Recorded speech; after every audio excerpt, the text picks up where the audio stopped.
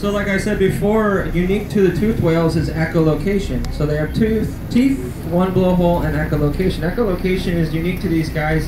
Uh, it comes from an organ right in front of the blowhole called the melon, which is actually their second nostril.